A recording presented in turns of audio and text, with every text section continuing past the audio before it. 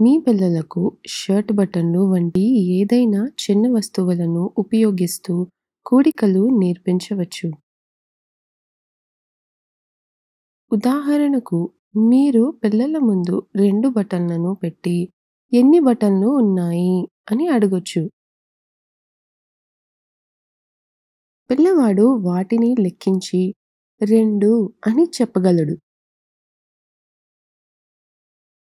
అప్పుడు మీరు మరో మూడు బటన్లను జోడించి ఇప్పుడు ఎన్ని ఉన్నాయి అని అడగొచ్చు. పిల్లవాడు వాటిని మళ్ళీ లెక్కించి ఐదు అని చెప్పగలడు. అప్పుడు మీరు ఇలా చెప్పవచ్చు సరైన సమాధానం రెండు మరియు మూడు కలిపితే ఐదు ఈ కార్యాచరణ ద్వారా పిల్లలు కూడికలు అర్థం చేసుకోగలరు.